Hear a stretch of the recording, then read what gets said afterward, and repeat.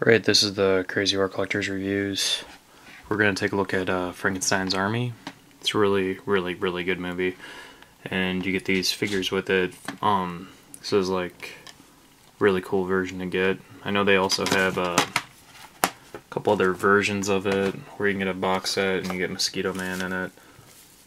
Um, and it's just like a box set thing with the Blu-ray. I got the DVD because personally I didn't really care if I got the Blu-ray or the DVD. It didn't really matter to me. Uh, but yeah, it's definitely worth watching. It's one of my favorite movies. I'd say out of my 10 favorite movies, I'd say, just for the how cool these creatures are that are in it and monsters that are created. Um, you definitely need to get this if you don't already have it or whatnot. And you can see the back here, all the cool stuff.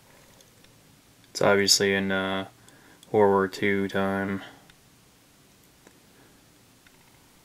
There's these monsters. it's just really cool. It's a cool, cool look at it because it's not something you'd expect really. Instead of like all these other movies where they put like zombies in it or whatever, this is just way more cooler in my opinion. Okay, let's get to the figures here. Alright. This is the one and only girl figures. Really cool looking. All bloodied up as you can see. The art in the back is just awesome looking. It actually tells you two little story about the characters too on the back. You can read about them and then it shows you collect all of these guys. Then you can see the other ones that I have. I'll show you real quick. Mosquito Man, he's definitely my favorite one. Just really cool looking.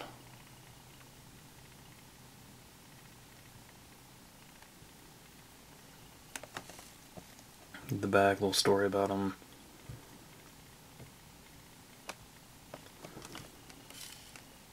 I just love how he's got those blade things and his drill in his head. That's just awesome. How he walks. Just amazing. This is the propeller head. This is uh, just finishing this up real quick. He's really, really cool figure. I'd recommend getting him. And uh, yeah, it just shows the back and the side story on them. So yeah, if you guys like this, let me know. Uh, I'll show you some more cool box sets like this. And uh, I think there's also a Comic-Con figure of this, if I'm not mistaken. I might be wrong though. It might just be a fake thing on the internet or something. But it looked pretty cool. I kind of want to get that one too. So I'll see you guys next time and uh, have a good one. This is the Crazy Horror Collectors Reviews. And uh, subscribe, check out my other videos. More awesome things to come. See you guys later. Bye.